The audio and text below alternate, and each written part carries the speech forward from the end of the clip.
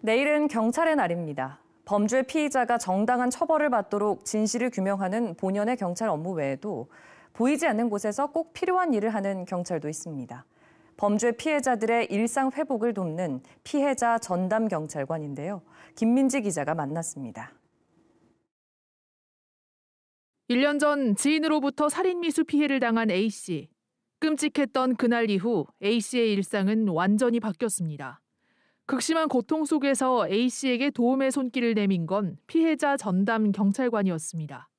정말 두렵고 막 그럴 적에 전화해가지고 괜찮으시냐고 물어봐주시고 너무 고맙고 좀 의지가 많이 됩니다. 12년째 피해자 보호 업무를 맡고 있는 박정란 경위는 대학원에서 상담 심리학을 전공했습니다. 재범과 보복 가능성이 있는 피해자의 신변을 보호하고 살인이나 폭행 등 강력 사건 현장을 정리하는 게 박경희의 주된 업무입니다. 필요할 경우 피해자를 위한 경제적 지원이나 심리 치료도 연계합니다. 상담 심리학을 전공을 하다 보니까 어, 마음이 아프신 분들의 이야기를 주로 들어드리는 역할을 했어요. 말을 못 하시는 분들이 어떤 분들일까라는 생각을 2015년부터 본격 도입된 피해자 전담 경찰관. 피해자에게 꼭 필요한 이들이지만 경남 전체 16명밖에 되지 않습니다.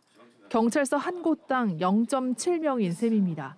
경찰관 한 명이 한 해에 200명의 피해자를 지원하다 보니 충분한 도움을 주지 못할 때 안타까움을 느낍니다. 피해자가 사건 전이 아니더라도 많이 회복하셔서 일상생활에서 조그만 행복을 느끼실 때 그때 보람찬 것 같습니다. 예기치 못한 범죄 피해 속에서 다시 일어설 수 있도록 전담 경찰관들은 오늘도 피해자 곁을 지키고 있습니다. KBS 뉴스 김민지입니다.